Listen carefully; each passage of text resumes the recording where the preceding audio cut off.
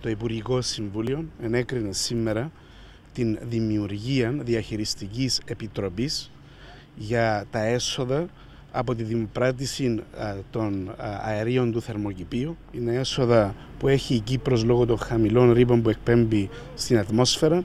Είναι ένα ταμείο που σήμερα έχει γύρω στα 2 εκατομμύρια ευρώ και αναμένεται ότι μέσα στα 7 επόμενα χρόνια αυτά τα, έξοδα, τα έσοδα θα ανέλθουν γύρω στα 70 με 80 εκατομμύρια ευρώ.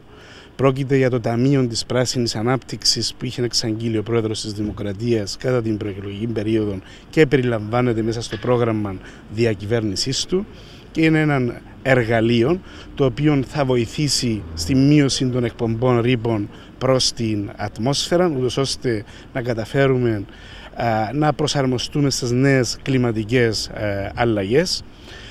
Ένας δεύτερος στόχος αυτού του ταμείου είναι η δημιουργία πράσινων θέσεων εργασίας ούτως ώστε να καταπολεμήσουμε την νεανική ανεργία αλλά παράλληλα και έναν εργαλείο το οποίο θα επιτρέπει στην κυβέρνηση να ασκεί πράσινη κοινωνική πολιτική.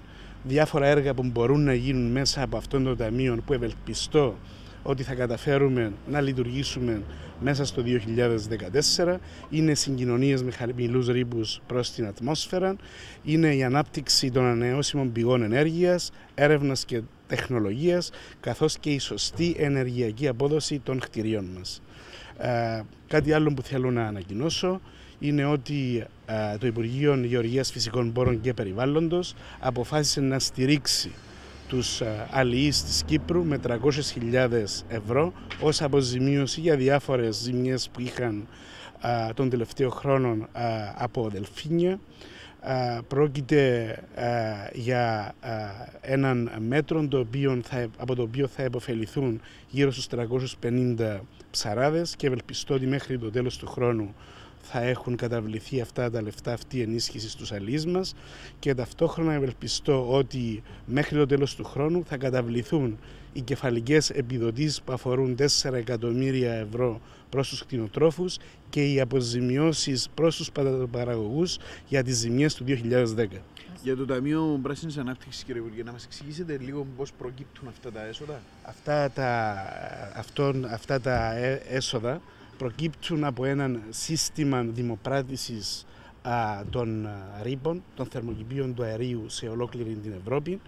Οι χώρες που έχουν χαμηλές εκπομπές ρήπων μπορούν να πουλήσουν τα δικαιώματά τους γιατί υπάρχει μία ποσόστοση ως προς τους ρήπους που μπορεί η κάθε χώρα να εκπέμπει στην ατμόσφαιρα και εφόσον εμείς έχουμε χαμηλούς ρήπους μπορούμε να δανείζουμε ή να δημοπρατούμε αυτούς τους ρήπους προς άλλα ευρωπαϊκά κράτη. Ε, έχω πει προηγουμένως ότι μέχρι τώρα έχουμε συλλέξει γύρω στα 2 εκατομμύρια ευρώ και ευελπιστώ, όπως έχω πει προηγουμένως, ότι την επόμενη 7 ετία αυτό το ταμείο θα φτάσει τα 80 εκατομμύρια, ίσως και περισσότερα εκατομμύρια ευρώ. Παλαιότερα πληρώναμε πρόστιμο για αυτούς τους ρηβούς ή είναι για κάτι ναι, ε, υπάρχουν πρόστιμα για αυτούς τους ρήπους. Ο, Κύπρος δεν, δεν ξέρω αν έχουμε πληρώσει μέχρι στιγμής, ε, αλλά τα τελευταία χρόνια οι ρήποι που εκπέμπουμε στην ατμόσφαιρα είναι πολύ χαμηλοί ε, και οι ρήποι αυτοί είναι κυρίως από την παραγωγή ηλεκτρικής ενέργειας και οι βιομηχανίες φυσικά που ρηπαίνουν κάπως στην ατμόσφαιρα. Ωραία. Ευχαριστώ πολύ. Ναι. Ε, το Υπουργικό Συμβούλιο ενέκρινε σήμερα την δημιουργία διαχειριστικής επιτροπής για τα έσοδα από τη δημοπράτηση των αερίων του θερμοκηπίου. Είναι έσοδα που έχει η Κύπρος λόγω των χαμηλών ρήπων που εκπέμπει στην ατμόσφαιρα. Είναι ένα ταμείο που σήμερα έχει γύρω στα 2 εκατομμύρια ευρώ και αναμένεται ότι μέσα στα 7 επόμενα χρόνια αυτά τα, έξοδα, τα έσοδα θα ανέλθουν γύρω στα 70 με 80 εκατομμύρια ευρώ.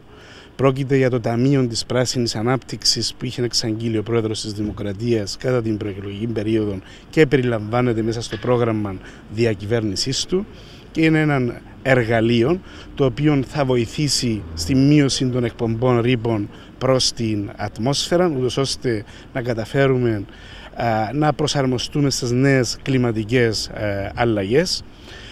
Ένας δεύτερος στόχος αυτού του ταμείου είναι η δημιουργία πράσινων θέσεων εργασίας ούτως ώστε να καταπολεμήσουμε την νεανική ανεργία.